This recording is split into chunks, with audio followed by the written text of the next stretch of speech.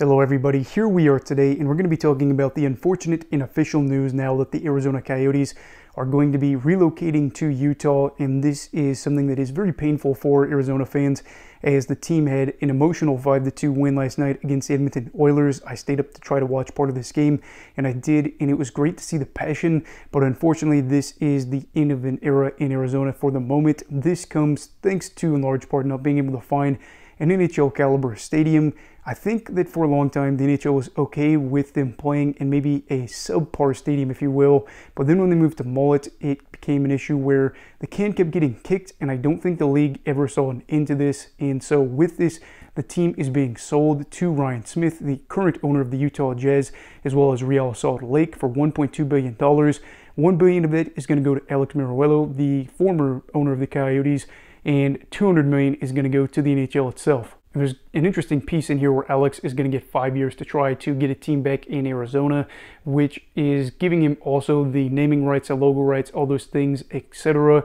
And this is going to be a very crucial period for this. And I look at this thing and see probably four takeaways from this, probably more, but in the moment, it's just crazy to think this is all happening right now. With the first and most obvious takeaway being that there is going to be no hockey team in the state of Arizona. Mind you, I'm talking about the NHL.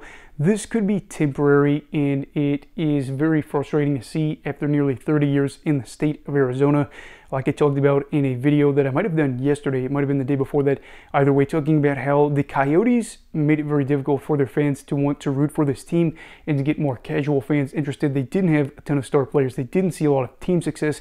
They didn't see a great state-of-the-art stadium, poor ownership, and all these things kind of led to where we are today. And I think the one benefit from this is knowing that there is a chance to get this team back. Whether or not you want them to come back, I guess is your opinion as a fan of the club or somebody that lives in Arizona, but there is still the opportunity to bring them back.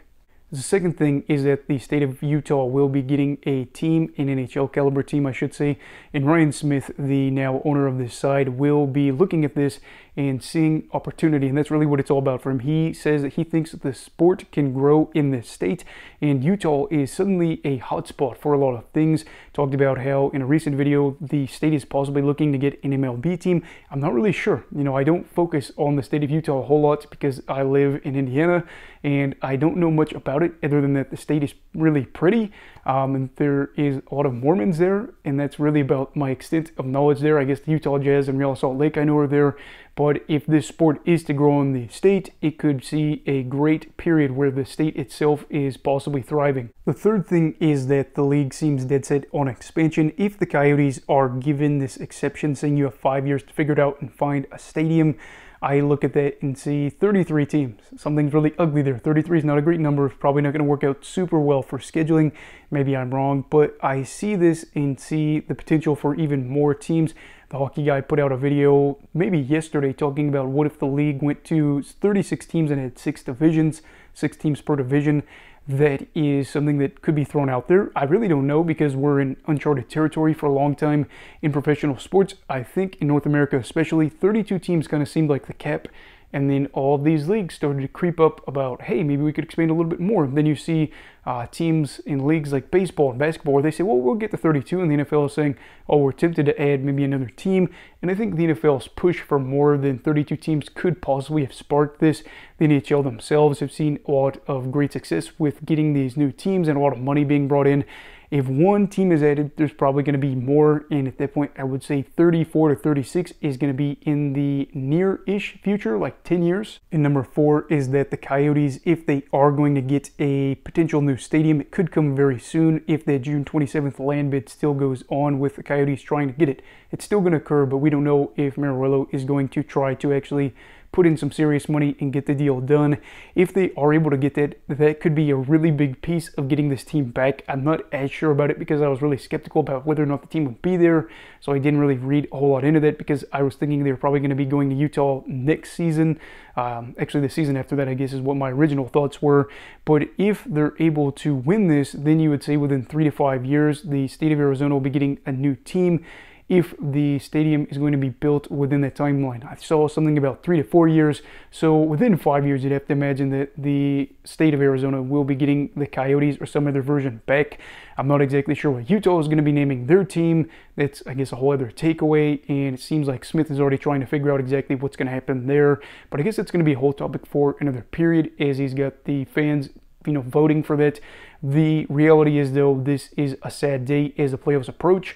I already uploaded a hockey video for the playoffs, and I'm not really sure when I'm going to put it out because this is such groundbreaking news, something that hasn't happened since this channel has existed since 2020. And I would like to again add my condolences go out to Arizona fans. You knew yesterday was probably going to be the final day I'm honestly surprised that they didn't announce it yesterday at the game. It just seems like something they would have done. I get a lot of the anger with this team. I don't really know if the players are all going to be thrilled about moving to a new place. It's tough to say. I don't even know if the fans will support this team with current ownership. Um, I think he's better than the Oakland A's owner from what I've heard about him because I don't really follow baseball. At least he's trying to get a team to come back.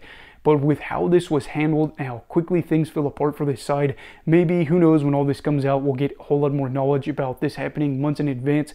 But it seems like probably within the past month and a half-ish, things have started to really get moving here and a lot of traction, and we're going to see how things all work out.